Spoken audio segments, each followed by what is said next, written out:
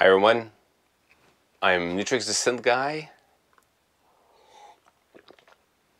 Today's the day after Christmas and it's my yearly list of the best apps for making music on the iPad.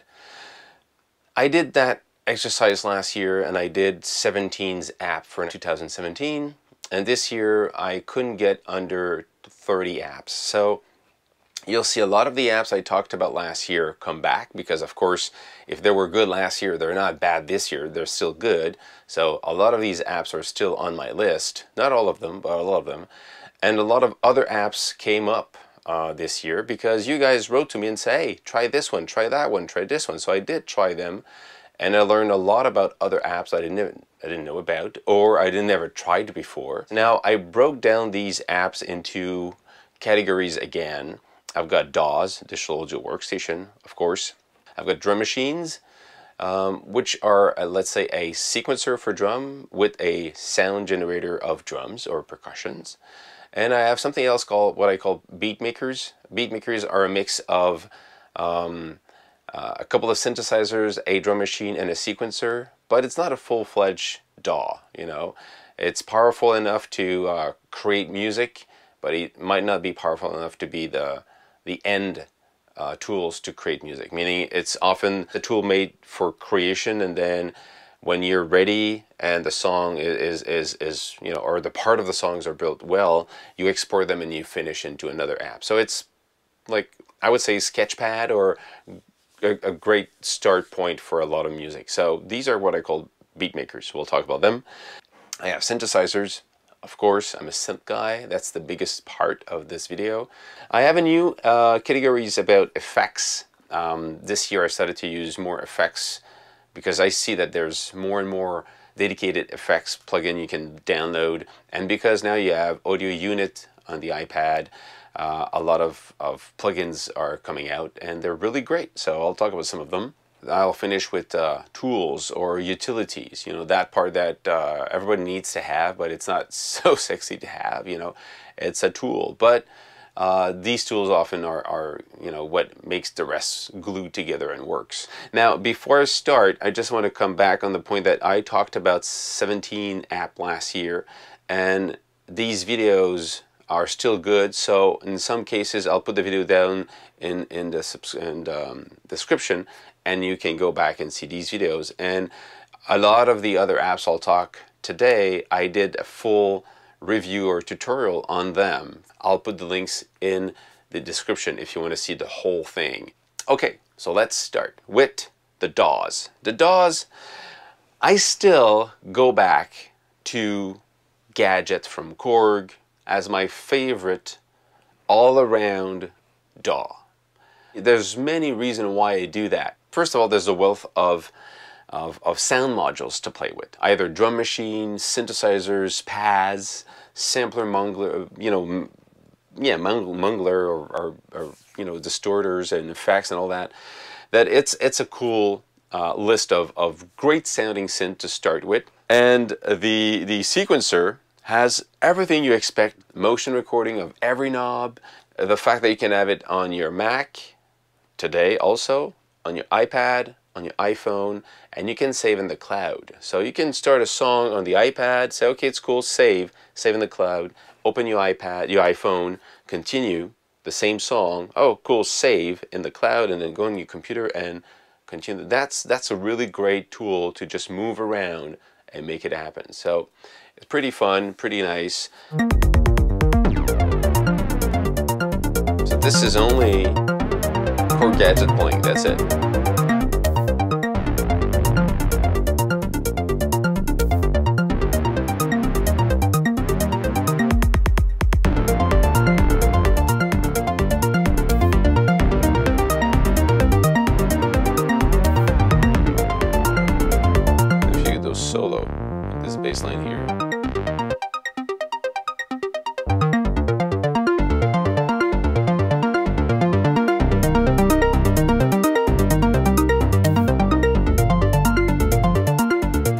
Just it sounds nice. You know, the sound are are warm enough and cool enough that actually warm enough and cool enough. Okay. Okay, next one. Next one is my favorite app for mixing. Auria Pro is amazing. It's a sequencer, but I don't I don't use a sequencer.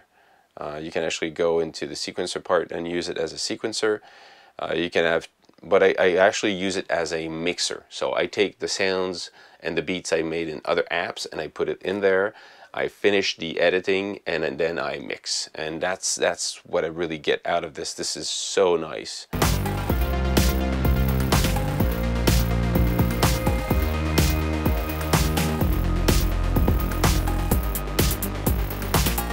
What's nice about this is you can actually zoom in, you know, very precise. You've got all these effects processing here.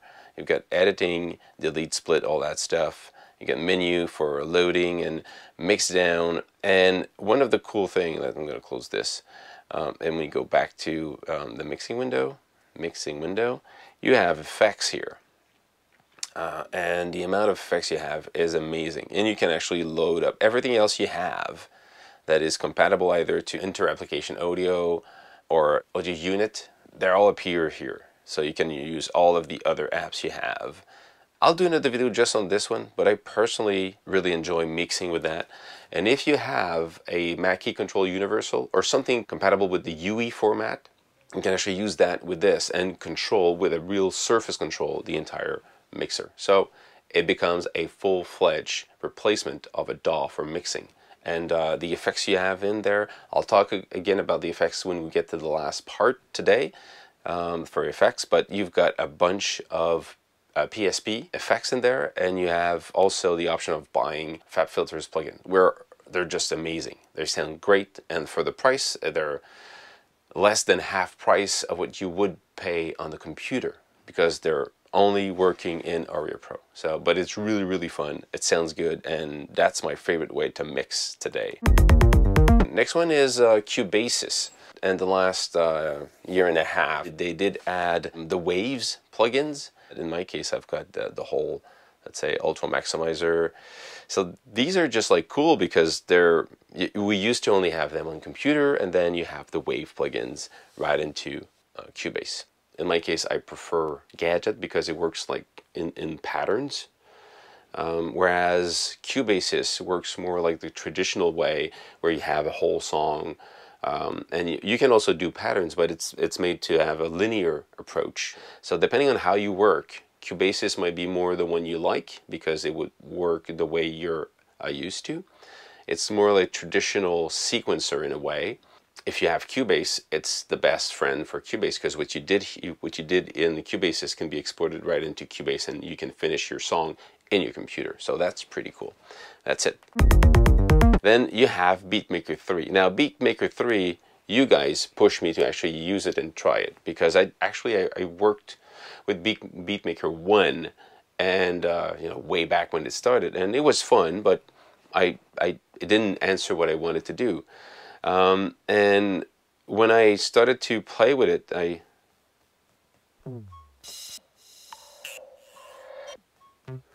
I started to understand a little bit why people say they love this thing because it's just like amazingly powerful. But I would, if I if if I had to describe the differences between these, let's say three DAWs, because I still say, let's say Auria Pro, it's a linear sequencer, but it's for me, I'm really using it for the mixer. So it's it's a great studio for mixing. Uh, the three others, like Cubasis, um, Gadget, and, and BeatMaker 3 are kind of, they they can do the same thing, but they're different in their, their the workflow that they have. Whereas um, BeatMaker 3 is more aimed at people using samples and the approach of um, Maschine from native instrument. So it's a bit of the same logic. You can sample whatever you want on these pads and you can trigger them and play them. So you can have your, your song, you know. It can be really interesting in the way you, you use them, but it's, it's all linked to the sample you sample, you know. It's, uh, and it's pretty powerful to the point that I'm, I'm getting lost in it um, because there's so many options and depending where you are you can have inserts on just an effects insert on a track insert on the it's, kind of um, so it's really fun really powerful and it supports everything that is like plugin based audio unit inter-application audio bus so it's really really powerful um, and it's one I want to dig more this year into because uh, of the sheer power of it. It's just surprisingly, um, you know, the wealth of option you can have in there is really, really awesome. That's it for Beatmaker 3. Just one week ago, I saw that Nano Studio 2 was coming out. And I was really interested in that because I used to own Nano Studio 1. Well, it was only called Nano Studio at the time. I did a couple of songs with that, and then one day, as the iOS upgraded, um, Nano Studio did not get upgrades, and then it just stopped working correctly. And even Apple said, you know, uh, ask the developer to uh, upgrade that, blah, blah, blah. So I stopped using it all around. And now I'm happy to say that they're back. Blip Interactive came out with Nano Studio 2. So let's open Nano Studio 2 and look at what it does. It's, it's a full-fledged DAW. This is totally new. It came out like a week ago. Now, um, you have the project window when you load, save, the settings for the songs and all that stuff. You got a lot of information. Then, then you go into this window here, which is kind of tr the track window if you want and you have also the mixer window. Now, you basically have two windows, but every time you double click on something, you open up another window. If you, if you double click on the track, then you see the drum tracks. So you see the drum sound. And if you want to erase or create new, you go into draw, and then you can draw in or draw out, you know. Then you can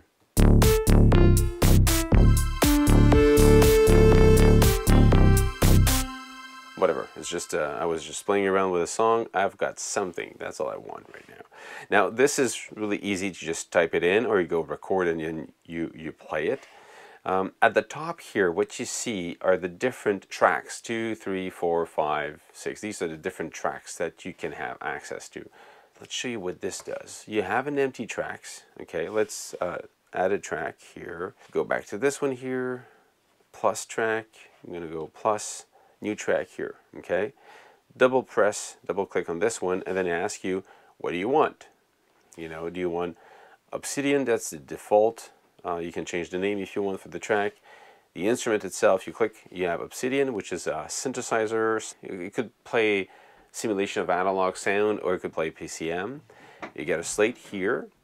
Uh, slate is the drum you have external MIDI, and then audio unit, you say, yes, I want this one, and you press on it, and then you get the list. I've got here all my audio unit instruments, Parallel, Cyclop, Egoist, and all that stuff. So let's say I'm going to use, I don't know, Poison 202, press on this one. I'm actually running.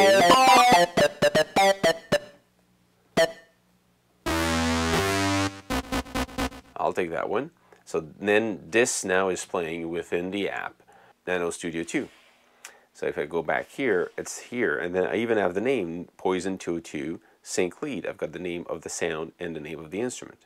Pretty awesome. Now if I want to record something and I want to play the sound, I'll have to go back to this one and I'll go back to Poison and I've got, because I don't have any keys, that's where I'm going to play. press play, then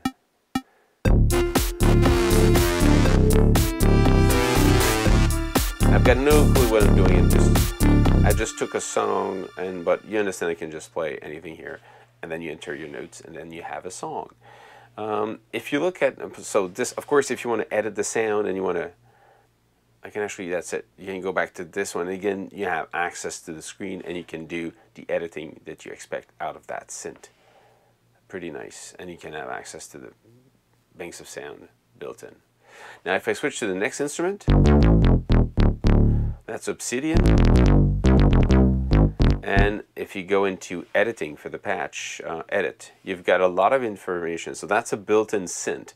You have the synthesizer, you've got different source of waveform, wavetable, uh, noise, uh, nano saw, you have FM synthesis, uh, PD, I'm not sure what PD is. Um, we have to look into the manual. I just got this today, so um, I'm not sure of everything it does, but it looks like a really updated version of the original Nano Studio One. I'm just going to show you um, if I load a project so you know what they can do. Discard that beautiful song and give you an idea of So a, a demo song.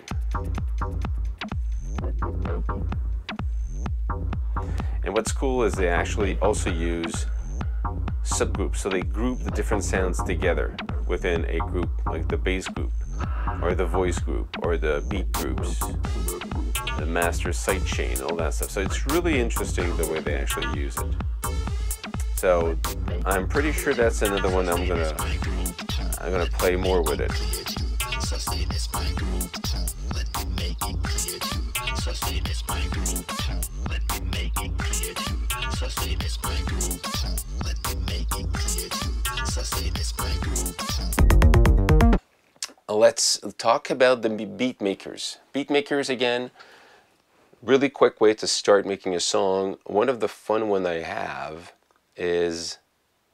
SKRAM is just a neat little tool to get ideas really fast out.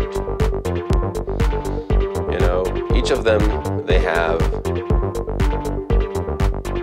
can mute these things. You can just have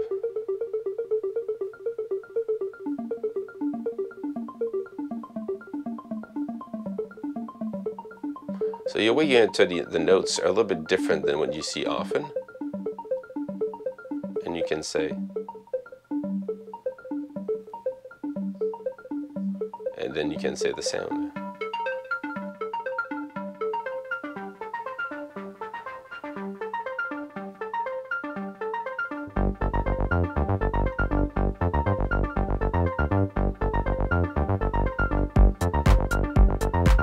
then you start making your, your beat, you know.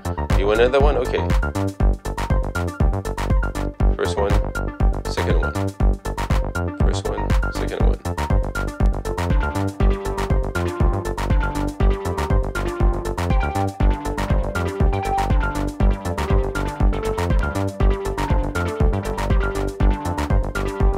Another great way to really quickly start your own stuff. Now, if you want to have more sound, they sell these little packs of, of sounds. Um, and they're really, I mean, affordable. It's uh, 808 sounds for, for $2.79. You've got uh, some other, like, uh, they call them short bleeps. Um, Riot Pack, Sub Bass, uh, Riot Pack, and Neon, so rave sound. So these are just like, they're, they're really affordable.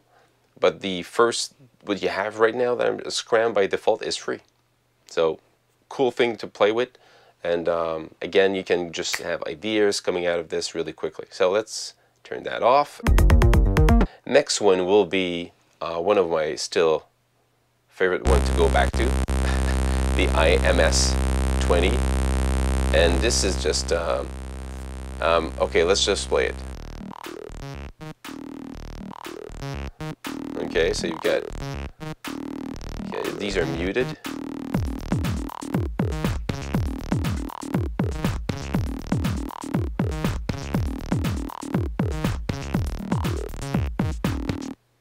So if I go back here, I'll show you what it is.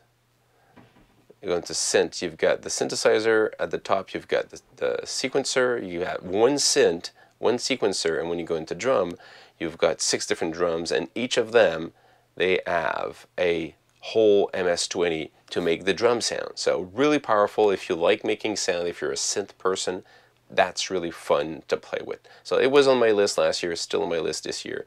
It's still a great sounding analogish uh, sound. Um, so that's for the iMS-20.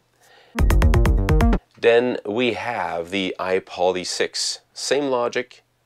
The iPolySix is um, using, wait a sec, is using, the, you've got the full, you know, synthesis of the iPoly, uh, the, sorry, sorry, the Polysix so the next one is the poly, iPolySix. And you've got the whole thing, you can turn it off.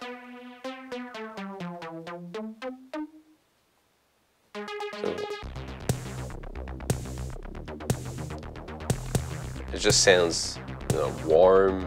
I mean, the sound of these Korgs are, are amazing for me. I, you know, they sound just like like you would in the hardware synthesizer. The drum, you've got uh, six drum sounds, and again, if you want to edit these sounds, you have access to the all the entire synthesizer. This whole entire synthesizer now is made for doing just a kick, just a snare, just a hi-hat, and so on and so forth. So really powerful to do that. Sequence mode or synth mode, and then you go into synth, you've got synth 1 and synth 2. So you can have a lead, a bass, and six drum sounds in just this little app. So it's really powerful, and it sounds nice. It sounds warm and analogish ish again. So again, in one of my top favorite uh, beatmaker. Now the next one is, that's a new one, Electribe Wave from Korg. It came out this year. Uh, it's basically uh, an Electribe that has a wavetable synth in it. So you can have drum sounds. These are sample based with effects on each of them separately and synthesizers.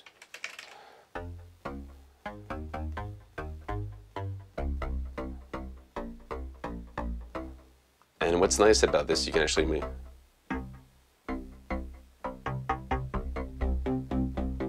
you can play around in the position of the oscillator and can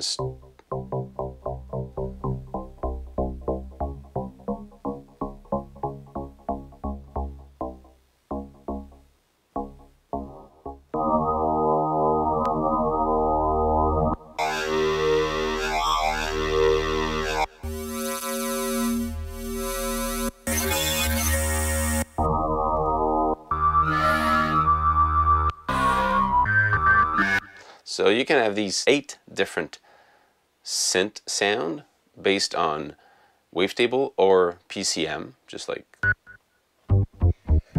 classic sound if you want. Drum, you get eight different sample based sounds. So the example that comes with it are really interesting.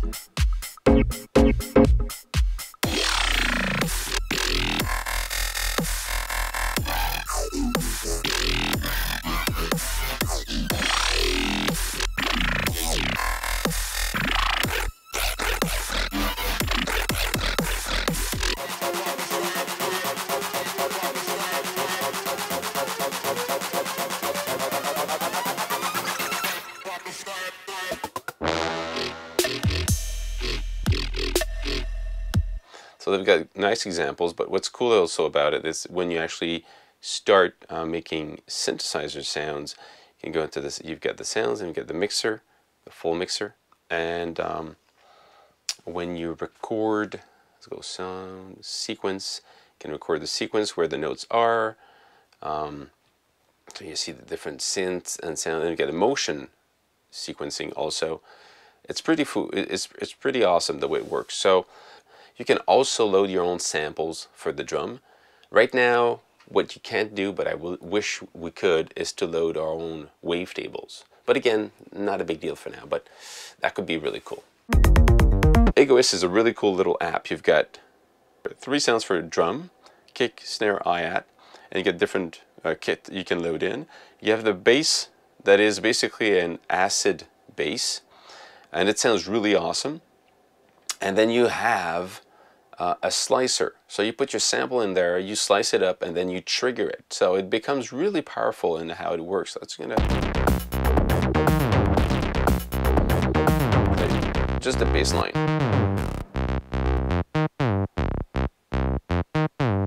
Just listen to that.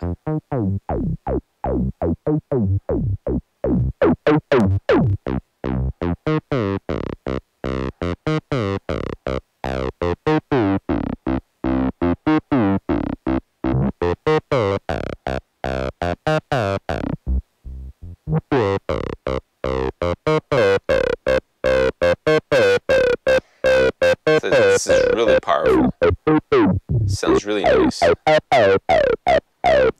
if you add the drum, you get different options for the drums, but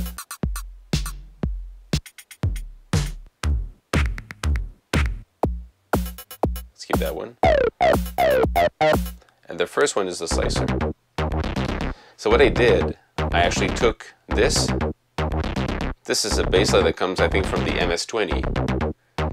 Slice it up into this one. So I've got the MS-20 playing here, sliced up, and then triggered this way. And if I check another one, then you add effects. You get this thing, which is just a nice effects.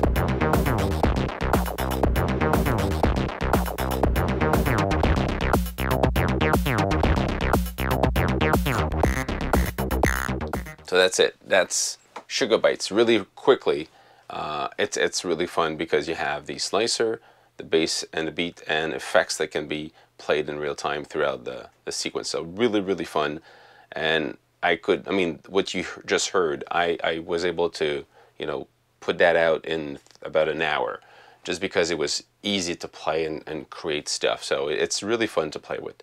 So that's, I, I this year, Sugar Byte for me was um, a discovery for the iPad. Um, I knew they existed, but I didn't know they were doing stuff for the iPad. Now the next one I really like is uh, Jim Audio, and I'm not sure what to put it. Um, Grooverider, I put it in either in DAWs or um, beat makers because this thing is just sounding really nice. Um, it's really powerful. Uh, so powerful that sometimes I, I, get mixed up in, in because there's only one window. But at the same time, if you if you use it a lot, it, it becomes obvious. Listen to some of these sounds, man. This just sounds really nice.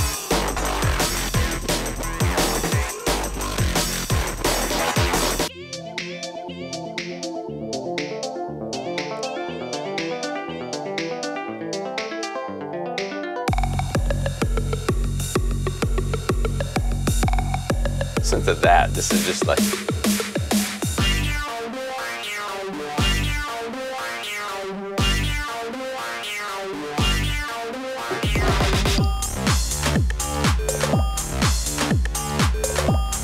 So you have the sequence, you have uh, the keys in keyboard mode, you have the different parts you're playing,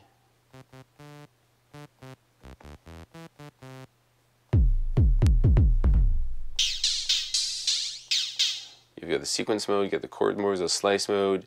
You can actually write. Um, you can you have enough here. You can change the type of different. What's interesting is that window here. Basically, if you know how to use an Electribe from Korg, you'll get around this really rapidly because when you click on this, you're basically moving around into the same window here.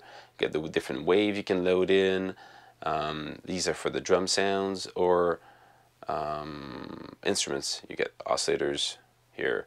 And these are really powerful. The sound engine you have in there is the one from the Poison 202 from Jim Audio, which is really a very nice uh, all-around synth. So the engine is really powerful and sounds really nice. So that's why that's why I come back to this just because of the sound, man. It just sounds good. Now the drum I'll go faster on this one because I did do a whole video about my favorite top drum machines and they're the same. So I have the DM1. The DM1 is still a great, cool, you know, drum machine to go back to. So if you want a full thing, you go see my video about it. Then we have um, the DM2. I like this one because the sounds are not sampled and you can create your own sounds. So if you go drum sounds, kick snare, all of them, the capacity of the synthesis here is super interesting. So I really like that, that you know, I just, I like these sounds. They're just like cool. Sick beats. Um, this, I've been playing with this for probably seven years. I like that, that thing. Again, very electronic sounding sounds. You want to go see one, you can go here and edit the way it sounds. You can show the envelope and, and and there's something called uh, the randomizer. That's really fun.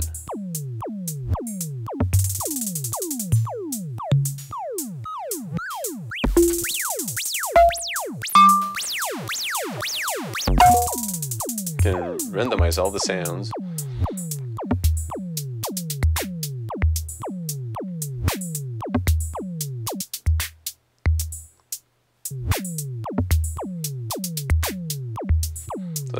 that's the SeekBeat. I really like it.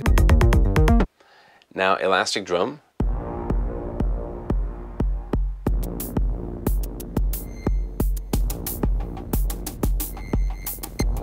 It's really interesting the way it works. You get your sequence, in this case you get uh, different patterns. You have your patterns here for the arrangement.